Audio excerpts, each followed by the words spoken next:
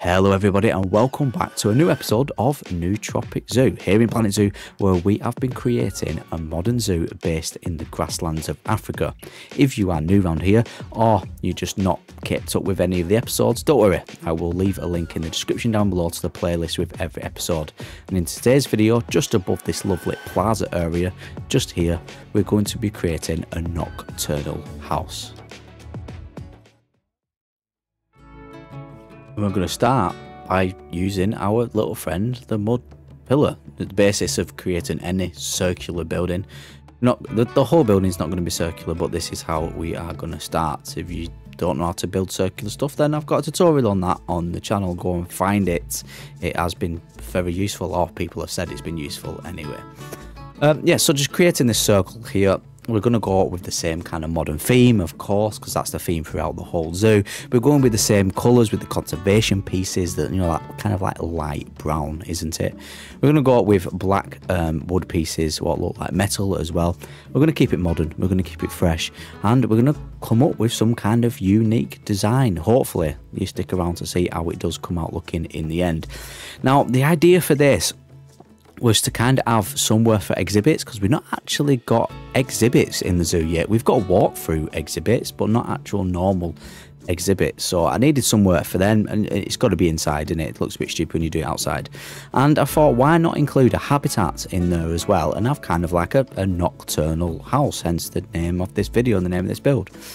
So that's what I went with. We're going to have a habitat. There's going to be an outside area for the animals as well.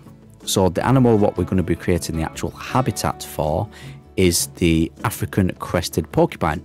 So that's our going to be a habitat side on the left, and they can come inside as well. And there's going to be an inside nocturnal viewing for nighttime, and then obviously on the right hand side we're going to have our actual exhibits in place as well.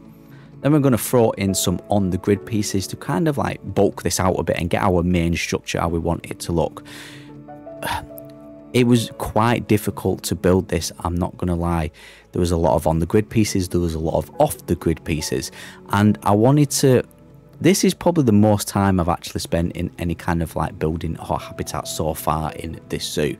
And i wanted it this piece to kind of piece sound like an artist this building to really stand out here and really have a unique look about it. Hence the different angles and the circular building mixed in with the more square on building. But I do, I do think it comes out looking pretty well. And again, I'm keeping with the same colour scheme what you've seen me build throughout this series and throughout this zoo, just to make sure everything fits in nicely um, you know, the, the, the stained wood pieces, I recoloured them to the conservation piece and, and and the metal pieces as well, the black metal pieces and the plaster pieces. And it's a colour scheme what really just seems to work and gel really well. These three colours, the black, the kind of like beigey whitey colour and this lovely like pale um, brown colour just seem to go well when you're building modern stuff in Planet Zoo. I don't know what it is, um, but it just seems to be the best kind of colour scheme just adding a little window in here obviously we're going to add some glass because it is going to be modern glass works with modern structures I'm really happy how this came out looking. You can see me just putting the plaster pieces now just at the front. And this is going to be our sign. This is what's going to say nocturnal house. And you can see me just playing about with some of the words here and some of the letters. And I'm thinking, it just doesn't fit right and I wanted some unique things. So I do end up actually downloading some words and some letters off the Steam Workshop page by Reese's Fonts. Brilliant, brilliant um, builder and brilliant. I nearly said inventor then, but well, you could say that inventor of fonts on Planet Zoo, maybe. Does that work? Is that a thing? But yeah, uh, Reese's fonts, I use them for all my fonts uh, off the Steam Workshop page if you want to use the same fonts I do throughout this build. And this is how it came out looking when I've got the main structure of the front in. Let's add some mulch. See the path is in as well. Let's start adding some trim as well. There's the, the font, the Nocturnal House. Add a trim around that just to clean everything up and, and fill in some gaps. But how nice is that font? It's just so nice. I love it. Right, on the left hand side where our outside of our habitat will be for the porcupine just created a wall, custom wall, added some of the conservation pieces, and it's very easy just to duplicate it over on the same grid. I've got a tutorial on that if you struggle building custom walls. But just trying to get it right and kind of trying to come up with a design here as well. And you can see me struggling to do that now on the right hand side. So pay no attention to this right hand side because I totally changed how it looks. My idea was to have two habitats, one on the left and one on the right, but the building just didn't. It looked too symmetrical for one, and for two, it looked too big. Um, I don't know if I can explain it very well. I know what I mean anyway. You see me just finishing off these conservation pieces, adding a little trim, filling in gaps where I can and just sliding pieces over. But yeah, forget about that right side. We're just going to have a habitat on the left hand side. It's going to be an outside habitat what leads into the inside bit. And then the inside bit is going to be the nocturnal bit. So you'll be able to see the porcupine sleep.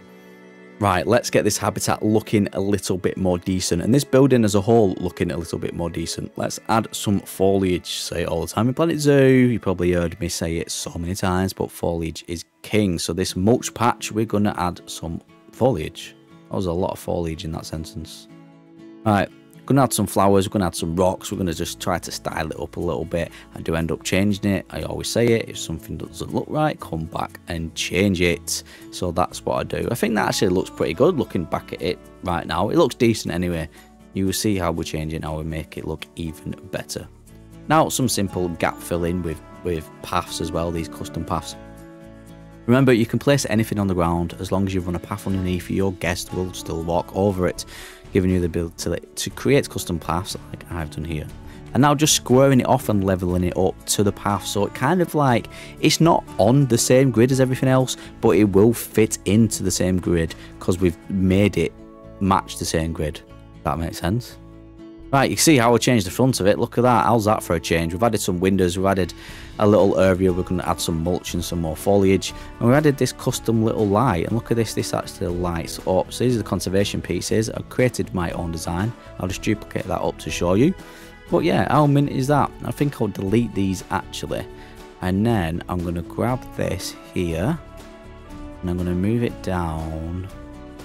How shall I have it? Shall I have it like that? Maybe. Actually, no. What I'm going to do is I'm going to overlap it like this, like the other ones are overlapping. Just create a small one. And then we're going to group them together, just like that. We'll move that over. This bit like abstract art, isn't it, really? This is going to light up the building as well. Like I said, those are lights, those white bits. And then we'll duplicate these lights, of course, and we'll put them in these. Just like this. Lower this down. Right, let's have a look at nighttime and see how it looks. Yeah, that's the effect I wanted exactly. Right, once the lights were in, it's time to build the windows up. Again, we're adding that black trim, what looks like metal. It just it just suits any any frame, door frame, window frame, any kind of frame. Um, and then add one-way glass, a little bit of privacy on the inside as well. It kind of looks a little bit realistic. And then on the front as the door, we're going to do the same. We're going to use the metal pieces. We're going to use some glass and we're going to create a door. And this is how I go about creating a custom sliding door. Obviously, it doesn't actually slide, but it gives the impression it slide. If you add these dots, it looks like a sliding door because this is what you would find on a sliding door in real life. This is to make sure people don't walk into the glass, I believe, you know, to actually let people know there's glass there. We've seen it all the time viral videos of people running into glass, haven't we? You don't want to do that in a zoo. So yeah, then we're going to duplicate these. We're going to add these together. And we're going to duplicate them and just lower them down and get another line in like that. So it looks like a realistic door. In fact, we're going to lower this glass up and then we're going to lower these up like that and now it looks like the door can actually slide let's add a bottom just to finish off the look again conservation pieces recolored to black look like metal probably fed up with me saying that aren't you yeah right let's just get that perfect and then we've got a door as for the roof i just used plaster pieces on this side i just used off the grid plaster pieces recolored them to the same color as the roof and on the inside, this is how I did it. I didn't film it because it was very time consuming and very probably boring to watch. I just layered the bottom of it with grass and the side of it with rocks. This is our viewing area coming together with the same pieces and some glass. So that's the inside viewing area of the habitat done and the outside of the habitat barriers done. So it was time to build where our exhibits will be and just a simple square made out of plaster pieces.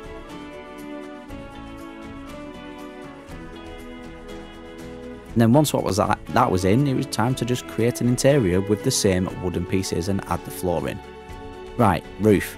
We're going to go with an on the grid roof. Um, not very custom and very easily to place down. The colour. The colour is going to match the rest of the colours throughout the zoo. And it's going to fit very well with the modern theme. Right, onto the actual viewing areas. We've got our barriers in and it's time to put some glass pieces in so our guests can actually view the porcupine, even though these barriers are actually quite low, so they could probably see over them. But yeah, glass pieces, best for viewing areas. They're just going to fill in some gaps and lower, and we're just going to keep it simple. People tend to overcomplicate things in Planet Zoo, but sometimes simple but effective really does work, especially when you've got a building like this, which is not so simple. And then the gap, we're just going to put another um, stained wood piece in that gap as well to kind of like break it up a little bit. I'll show you how it looks. So you can see the left hand side of the barrier is in as well. I just use glass, adding foliage and it looks like this. And then it was time to wrap a null barrier around. Don't worry, I'm going to jump in a minute to me showing you everything I've changed from inside to out and how it came out looking in the end. Like a full tour of the building and the habitat and the exhibits. Nocturnal House in Nocturnal House in Newtropic Zoo is open for business. Let's take a look outside and inside of this building to show you what have changed and how the complete look looks. Let's have a quick look of all the foliage. You can see the front bit here. I've changed how it looks and I've added again those um, aquatic pack rocks to make it look like pebbles. I've also changed the flooring up a little bit to add a little bit of design. Our guests are absolutely loving the viewing areas to the outside of the habitat. And our porcupines have got everything they need in here and seem very happy. And, and when I say happy, I mean very happy. On the inside, our guests have got a lovely viewing area to watch our porcupine sleep. Just before you go into the actual exhibits, you will see I've created this lovely little kind of like water feature with lights over it. I've created these modern light structures with LED lights in them and kind of like this actual little like water feature here where our guests can sit around and listen to the water.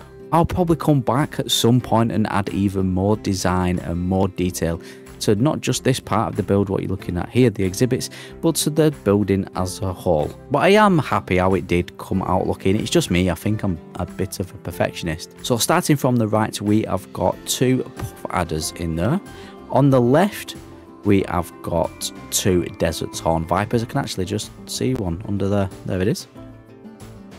And then on the separate one here, we have got the sacred scarab beetle where if I zoom really far enough in, you'd be able to see them as well. At the rear, we just kind of copied the front, but made it a little bit more simpler. On the top, we added two skylights to give a little bit more light inside the building during the day, and that completes this build. I'm actually going to show you what it looks like at night, because I did add quite a lot of lighting.